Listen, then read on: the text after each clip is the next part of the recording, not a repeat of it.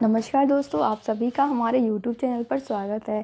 दोस्तों, आज इस वीडियो में हम लोग बात करने वाले हैं आपकी UP triple S C, UP triple S C PET के एडमिट कार्ड के बारे में। वीडियो स्टार्ट करने से पहले अगर आप हमारे चैनल पर नए हैं तो किसी प्रकार के जॉब अपडेट, वैकेंसी अपडेट या रिज़ल्ट अपडेट कर पाने के लिए आप हमारा चैनल निटीजन ट्यूटर सब्सक्राइब करें और हमारे साथ जुड़ जाएँ।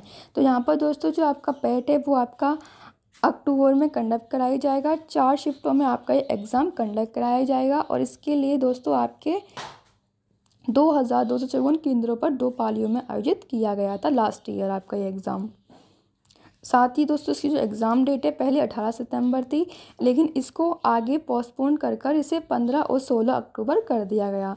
यहाँ पर एडमिट कार्ड की बात करें तो यूपी ट्रिपल एस सी द्वारा पीईटी के लिए परीक्षा तिथि घोषित कर दी है। परीक्षा तिथि घोषित होने के बाद अभ्यर्थी एडमिट कार्ड के लिए चिंतित हैं। आपकी जानकारी के लिए बता दें कि इस प्रकार की परीक्षाओं के लिए एडमिट कार्ड परीक्षा तिथि से लगभग एक हफ़्ते पहले जारी किए जाते हैं। अगर पीईटी की बात करें तो इसकी परीक्षा तिथि पंद्रह व सोलह अक्टूबर है।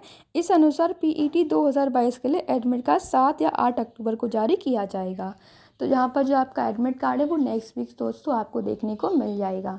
जैसे ही एडमिट कार्ड जारी होगा, हम आपको तुरंत लिंक प्रोवाइड करेंगे, जिससे कि आप अपना एडमिट कार्ड जारी कर पाएँगे। वीडियो में इतना ही। वीडियो पसंद आया हो तो वीडियो को लाइक करें शेयर करें। इसी प्रकार की अपडेट पाने के लिए हमारे साथ जुड़े रहें। धन्यवाद।